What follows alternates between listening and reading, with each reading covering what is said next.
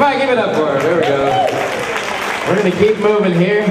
All right, everybody put their hands together for Richard Hatch. Let's hear it. Thank you, Lanny. Uh, hey, did anybody else pick up on that uh, dolphin theme? It's kind of understated, but then some of you know I, I, I noticed it, uh, it was pointed out to me, and I thought, you know, maybe it means, I'm trying to understand the symbolism, PJ, because I'm not from that tradition, and I thought maybe it means there's something a little bit fishy about this marriage. But no, no, no, no, no, no. Bill Palmer pointed out, dolphins are not fish, they are mammals. And apparently he knows he's the universal life. He says it symbolizes that Shon and PJ unlike so many here tonight, actually got married on purpose.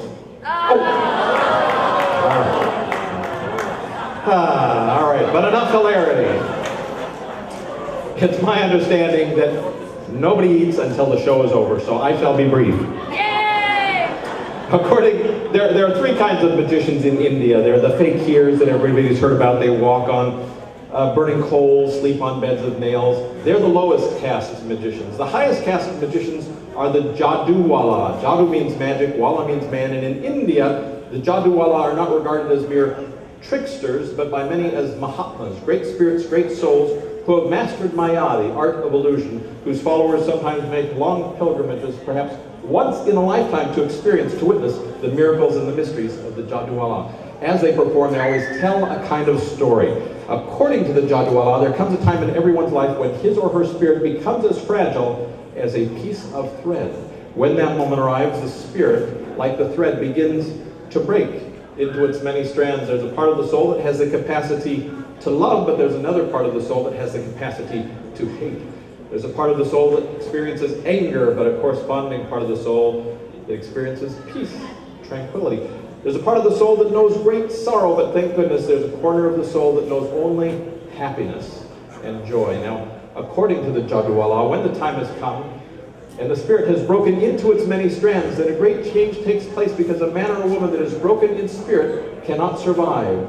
And so the body dies, and at the moment of death, the pieces fly from the body to the far reaches of the universe, which they circle not just once, not just twice, but finally three times until at last they come to rest, suspended at the very edges of the universe, where they may remain, perhaps for 100 years, perhaps for 1,000 years, perhaps even for 100,000 years. But, say the Jaduwala, there will come a day when the pieces, the strands, receive a call, because on that day the great wheel of karma will have turned full circle. Watch the pieces, the strands, as they receive their call.